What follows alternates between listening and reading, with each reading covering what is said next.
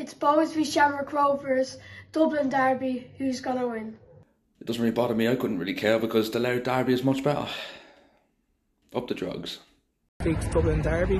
Not for a Rovers win. Not as confident as I would be with injuries, but I think we do it. And do it comfortably as well. After a very disappointing result against Dundalk, this is the perfect chance for Bohs to put it back right. I am really looking forward to this one. Come on, the Bohs! Friday night, I'll be in Turner's Cross with the scissors, uh, just levelling it off the new grass because that'll take me a couple of hours. Thanks, Keith. Who do I think's going to win the Dublin Derby? Bohs or Rovers? Who gives a shit? Lads, Dundalk's top of the league. We're winning everything. We're taking every. Oh, wait, wait, wait. No, I'm knocking that upside down.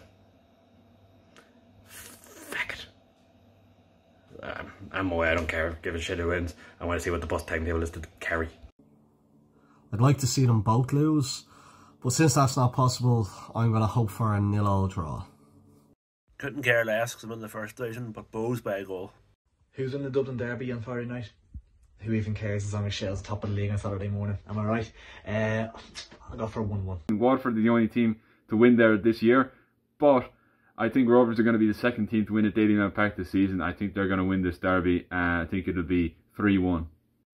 No, no, no, no, no, boys. It's going to be 2 2. Telling you. I'll tell you who's gonna win. Bohs are gonna win. It's gonna be 2 1 Bohs. Come on!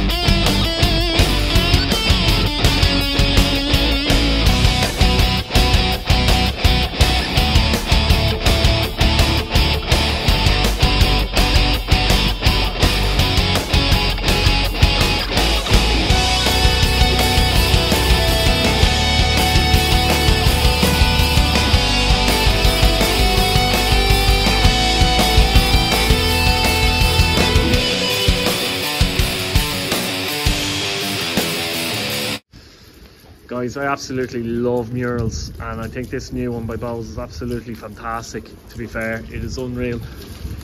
And come on, Pella Bohemic, Football Club Bohemians, or Bohemians Football Club. See this chap here? Jackie Jameson, 1981 to 1990, top scorer for five seasons at Bohemians, this fellow was.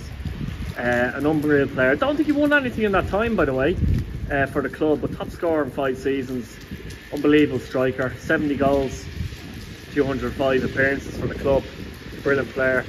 And as we go up, we've got Dave Tilson here. I kind of remember him. I started following uh, League of Ireland in 1995, the back end. So I sort of remember him. I would have seen him at Telly in cup finals and stuff like that. He played for the club from 1989, sorry, 1989 to 1995, Dave Tilson. Um, two FAI Cups he won, including the winning goal in 1992.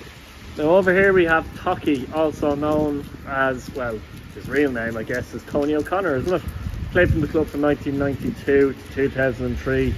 Uh, he was a great leader for Bohemians. I do remember him uh, big time, mainly as a right back. I think he might play midfield as well, but mainly as a right back.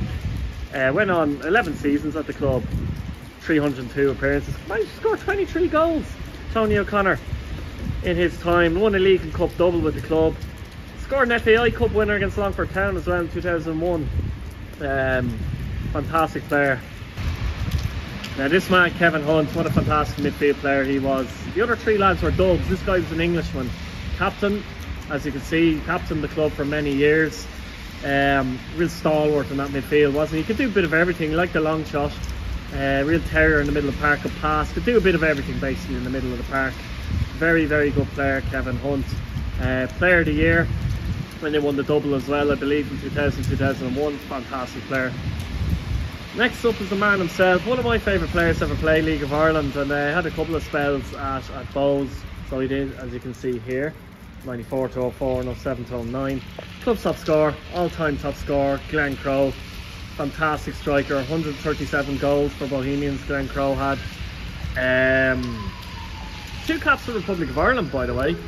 Uh, won the PFA and the League of Ireland Player of the Year twice in his uh, time at, at the club as well. Won a couple of league titles, a couple of cups. Really fantastic striker, real strong striker.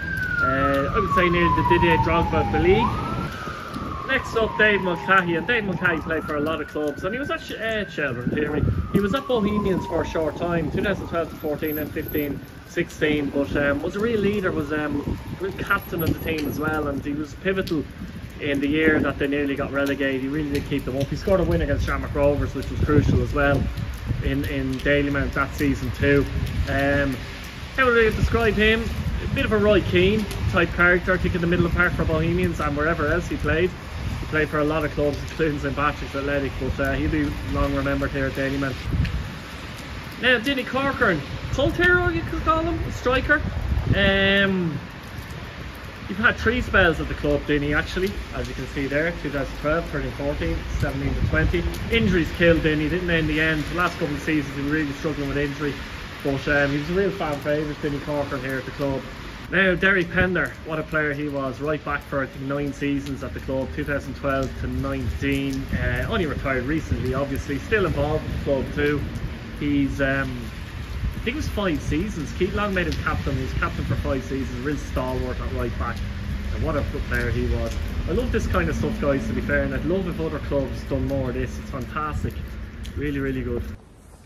Yeah, just it's, it's fantastic seeing that kind of history. And I like the way they have it lined up uh, in such a way that um, it's obviously gone from the Furthers era you know, gone from era to era to era up to the present day. I like the way they did that. And actually, I don't know who did it, but the detail, he has the flipping jerseys uh, from each era, which is fantastic as well.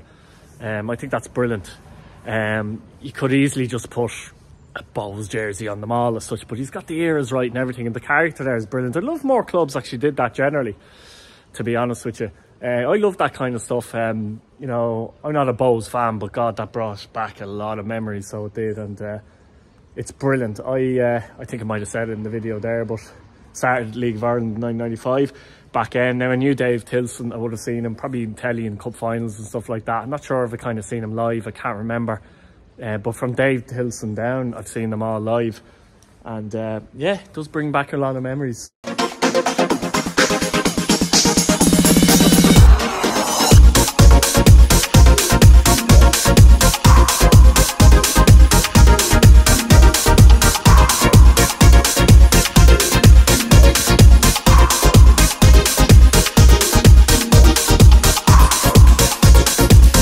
So here we are guys at Tallaght Stadium and what a sea change this has been for uh, for Shamrock Rovers. It's been a massive, massive uh, difference maker for them since they moved here in 2009. They've won six league titles since they moved here in 2009. Previous 20 years they won one league title, out of Glenmalure Park in 1987 of course, and looking for a home for many, many, many years. Didn't do them any favours. Tallaght Stadium has been absolutely huge for them. Not just Tallaght Stadium itself, which is the best stadium in the country, and obviously gives them a home, but Tallaght. I mean, it's the biggest satellite town in Dublin.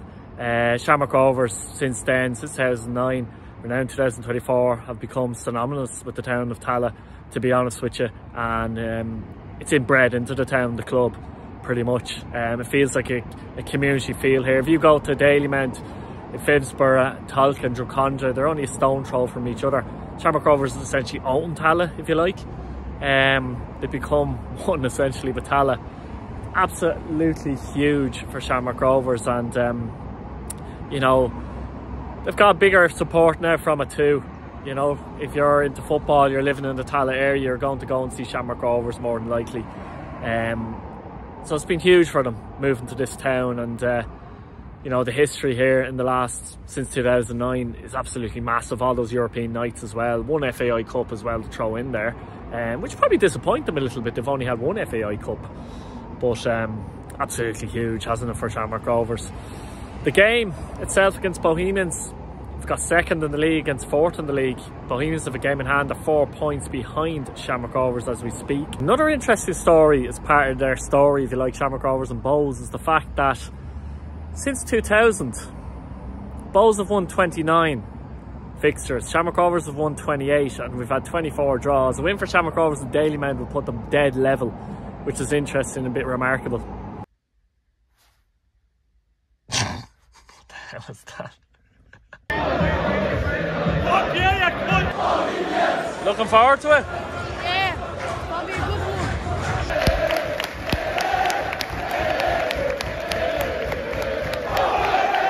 Daz, you're shitting yourself. Oh, I am nervous now. Come on, the boys.